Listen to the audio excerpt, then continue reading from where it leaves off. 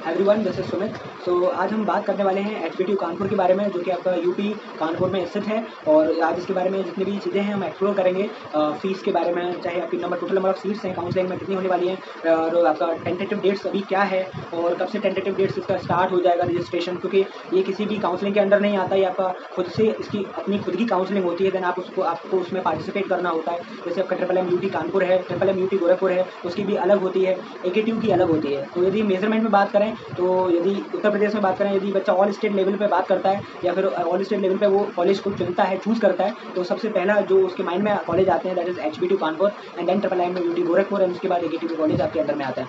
And then अभी हम बात कर रहे हैं एच बी टू कानपुर के बारे में तो let's explore about so so, first हम बात करते हैं इसकी लोकेशन हम ऑलरेडी बता चुके हैं दैट इज़ कानपुर में स्थित है आपका और काफ़ी ओल्ड कॉलेज है तो इसका एक्सपोजर भी काफ़ी अच्छा है और प्लेसमेंट सेल तो इसका वाकई ज़बरदस्त है क्योंकि यदि मैं अभी ट्वेंट दो हज़ार बाईस की बात करूँ तो इसका एवरेज पैकेज आपका ट्वेल्व एल रहा और हाइएस्ट पैकेज आपका फोर्टी फोर पॉइंट फाइव और इससे यदि प्रीवियस ईयर की बात करता हूँ तो देन आपको मिल जाता है टेन एल और हाइएस्ट पैकेज आपको सिक्सटी एल का देखने को मिलता है दैट इज़ सी ब्रांच और भी अच्छी सभी ब्रांचेस का इस पर अच्छा प्लेसमेंट हो रहा होगा क्योंकि ये अच्छा कॉलेज है। यहाँ पर आपको प्रोसेस भी अच्छा मिलेगा और इसमें अपग्रेडेशन भी होता है। जैसे कि कोई सीट यदि कोई बच्चा छोड़ के चला जाता है तो देन आप नेक्स्ट ईयर में एक अच्छी सी जी मेंटेन करने के साथ लगभग आपको एट से ऊपर या नाइन से ऊपर आपको सी जी रिक्वायरमेंट होती है किसी ब्रांच को अपग्रेड करने के लिए। यदि उस कैटेगरी में यदि वहाँ पर सीट खाली है तो वो वहाँ पर आपको मिल जाती है। ये हम ब्रांच रेखा अपग्रेडेशन रहता है।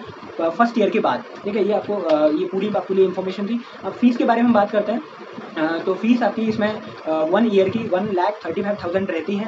एंड देन आपका, और टोटल जो सीट की बात करें तो नाइन हंड्रेड ट्वेल्व आपकी सीट है। टोटल ब्रांच टोटल ब्रांच आपकी फोर्टीन ब्रांच है।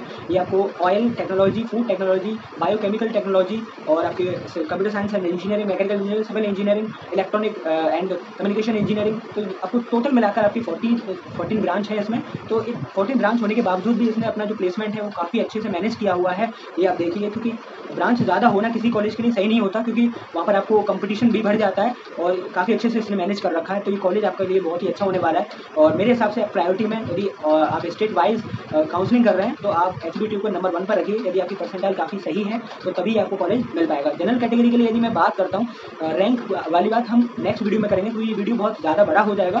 तो हम उसमें कैटेगरी वाइज रैंक को एक्सप्लोर करेंगे तो क्या क्या रैंक आपको रिक्वायर है या कितनी परसेंटाइल पर चांस है कि आपको इसकी ये ब्रांच आपको मिल सकती है, वो हम नेक्स्ट वीडियो में हम बात करेंगे। ठीक है तो अभी हम इसी कॉलेज इसी के बारे में बात करते हैं, क्योंकि हम ओवरऑल इसी के बारे में बात करना ठीक है तो प्लेसमेंट सेल भी आपका बहुत अच्छा है, और जो भी चीज़ इसमें हम छूट, यदि कोई भी इन्फॉर्मेशन क्योंकि मैं इन्फॉर्मेशन डायरेक्टली आपको प्रोवाइड करता हूँ यदि कोई भी इन्फॉर्मेशन आपकी छूट जाती है तो देन मुझे आप कमेंट कर सकते हैं। तो देन कमेंट सेक्शन में, या आप मुझे इंस्टाग्राम का मेरा हैंडल आ रहा होगा या फिर आपको डिस्क्रिप्शन में लिंक मिल जाएगा, आप मुझे वहाँ पर फॉलो कर लीजिए एंड देन आप मुझे डायरेक्टली कॉमेंट कर सकते हैं। तो इंस्टा पर मैं आपको डायरेक्ट या काउंसलिंग से रिलेटेड या कि कोई चीज़ से रिलेटेड आपको प्रॉब्लम आती है देन आप मुझे वहाँ पर कमेंट कर सकते हैं। तो देन मैं मोस्टली वहाँ पर बंदे मेरे साथ जुड़े हुए हैं। जो कि इस चैनल के माध्यम से जुड़े हैं तो वो मेरे साथ कॉन्टैक्ट में जुड़े हुए हैं। तो देन वो मुझसे भी क्वेश्चन पूछा करते हैं तो आपको, आप भी पूछ सकते हैं, और तो वहाँ पर आपको रिलायबल आंसर आपको मिल जाता है। तो देन जिससे कि आप, क्योंकि रैंक आपके पास आ जाती है रैंक भले ही कितनी भी हो, लेकिन चांस रहता है कि यदि आप काउंसलिंग अच्छे से करते हैं तो आपको अच्छी से, अच्छी ब्रांच मिलने की चांस ज़्यादा रहता है।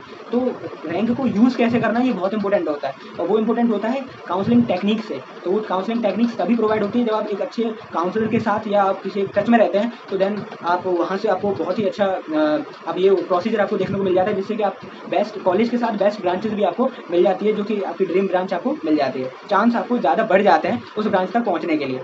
तो ये था। और रजिस्ट्रेशन देख बात करें तो रजिस्ट्रेशन आपके 10 जून से स्टार्ट हो जाएँगे। ये टेंटेटिव है, ये कोई कंफर्म नहीं है क्योंकि अभी ये एडवांस जो चार जून का था, अभी वो खत्म हो चुका है। तो ये है आपका ठीक है तो ये पूरी इन्फॉर्मेशन थी, इससे रिलेटेड यदि कोई भी आपको डाउट है इस कॉलेज से रिलेटेड या कोई इन्फॉर्मेशन जो छूट गई है तो देन आप मुझे कॉमेंट कीजिए देन आपको एक रिलायबल आंसर देने की कोशिश करूँगा। और जब तक जब तक के लिए आप अपना ध्यान रखें।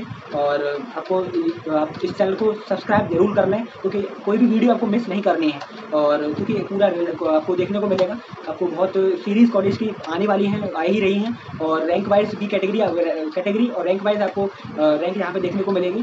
कि आपको डाउट रहता है तो देन आप मुझे कमेंट करें। एंड आई विल श्योर कि मैं आपको बेस्ट आंसर प्रोवाइड करने की कोशिश करूँगा। एंड मिलते हैं नेक्स्ट वीडियो के साथ। जब तक के लिए गुड बाय